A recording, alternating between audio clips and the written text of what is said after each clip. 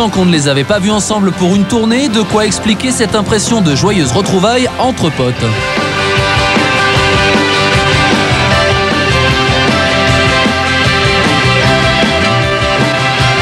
Bruce Springsteen est maintenant de passage dans l'Hexagone, il sera à Paris au mois de juin.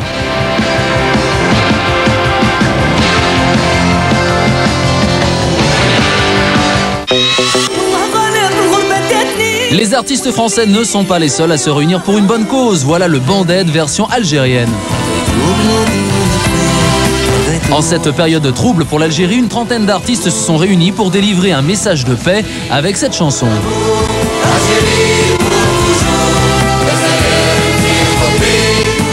Et les sous, qu'est-ce qu'on en fait?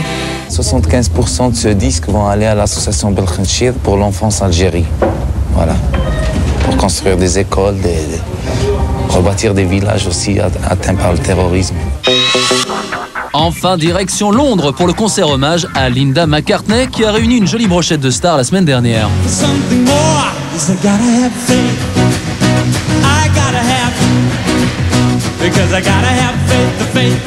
Il y avait George Michael, mais aussi les jolies ballades de Neil Finn.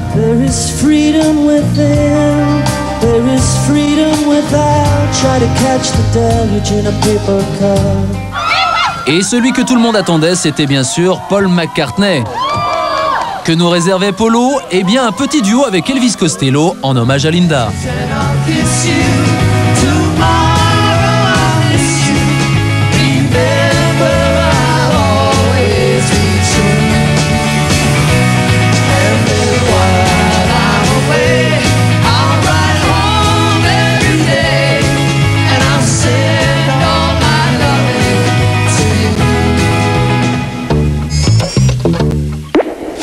Notre extraterrestre cette semaine, c'est le clown du rap, l'homme de toutes les métamorphoses.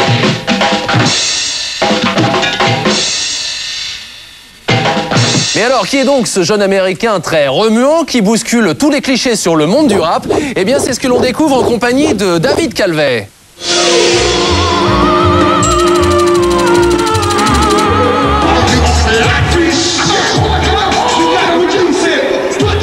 C'est le nouveau phénomène du rap. Il est l'invité des shows les plus prestigieux et ses albums se vendent à des millions d'exemplaires. Busta Rhymes est une véritable star, mais qu'a-t-il donc de si particulier?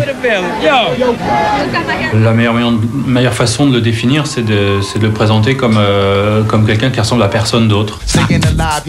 C'est flagrant dans ses clips, Busta se déguise en sorcier vaudou, flic ou boxeur, il n'a peur de rien. Un vrai clown qui ne se prend pas trop au sérieux, voilà qui bouscule un peu l'image du rap. Ce qui compte pour moi, c'est d'apporter une touche d'originalité et d'assurer le spectacle dans le rap. À ses débuts, Busta avait pourtant l'air bien sage. Ce jeune américain d'origine jamaïcaine a démarré la musique à 17 ans avec son groupe, les Leaders of the New School.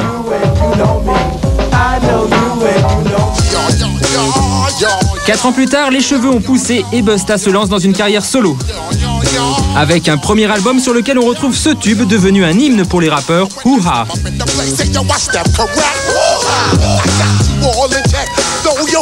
C'est à cette époque que Busta Rhymes invente son personnage de bouffon.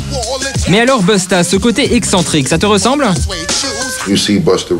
Quand vous voyez Busta Rhymes, c'est juste une partie de ce que je suis, pas ce que je suis tout le temps. Vous savez, il y a des moments où je suis plus calme et où je me repose. En même temps, à d'autres moments, j'ai envie de m'éclater. En fait, pour comprendre ce qu'est Busta Rhymes, il vous faut imaginer Joey Star de NTM plongé dans un dessin animé de Tex Avery. Un mélange plutôt inattendu qui lui a permis d'élargir le public habituel du rap. Le rap, ça s'adressait quand même plutôt à des gens qui avaient entre, entre 15 et, 25 euh, ans.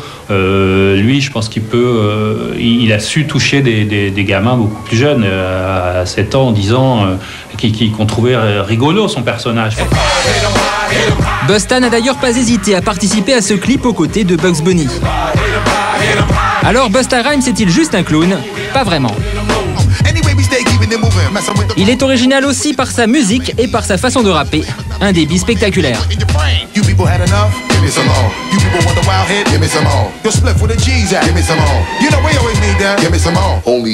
Être le seul à proposer un certain produit avec un certain son, c'est ça qui m'intéresse. C'est pourquoi j'écoute attentivement tout ce que les autres font pour être sûr de ne pas faire la même chose qu'eux.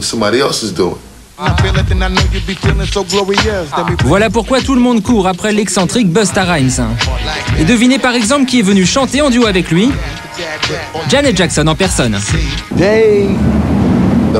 Aujourd'hui, le fantasme absolu de Busta Rhymes devient réalité. Je tourne un clip avec Janet Jackson. Pour l'occasion, Jeannette a sorti ses griffes et ses plus beaux bijoux. Elle s'est faite belle pour le rendez-vous avec Busta. C'est elle qui a tenu absolument à le rencontrer.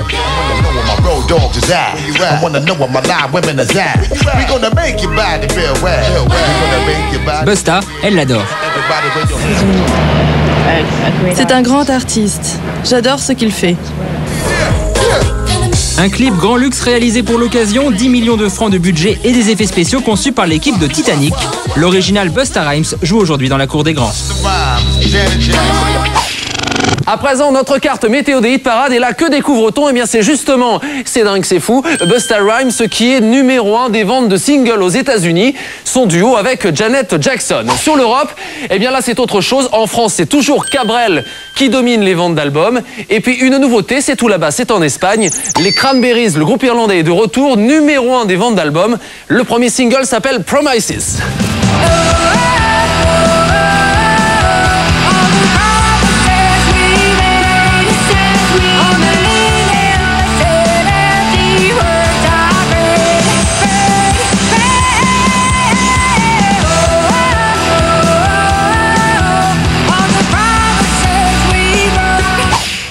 Tagada, Tagada, les Dalton. Eh ben oui, on se quitte là-dessus. Il est temps d'aller se rafraîchir au saloon et on se retrouve très vite dans Plus vite que la musique dès samedi prochain pour de nouvelles aventures. Bye bye.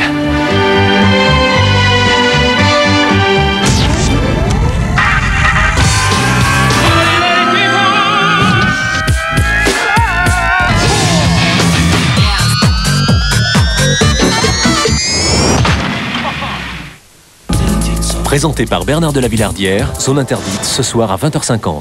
Depuis un mois, la guerre fait rage dans les Balkans. Ils sont volontaires de l'humanitaire, réfugiés ou résistants. Zone interdite les a suivis jour après jour au cœur d'une guerre fratricide.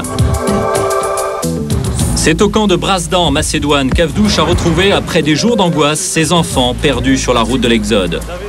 Une joie de courte durée, lui part en Turquie, ses deux filles ont choisi de rejoindre les rangs de l'UCK. Sur les hauteurs de la ville de Pêche, les combattants indépendantistes du Kosovo sont peu armés et impuissants face aux forces serbes. Blessé, le commandant Azem de la colonne 131 garde espoir. Nous n'avons pas perdu la guerre, en tout cas. Peut-être une bataille, deux batailles. Qu'est-ce qui s'est passé exactement? Diane est juriste. Sur la route de l'Exode à Koukesh, elle recueille pour la justice internationale les témoignages des réfugiés sur l'épuration ethnique. Torturé comment? Combien de personnes? Pour mieux comprendre cette guerre au centre de l'Europe, nos reporters ont plongé au cœur de la haine. Une édition spéciale de Zone Interdite ce soir à 20h50 sur M6. Zone interdite avec Generali. Jazzman vous présente Jazz 6.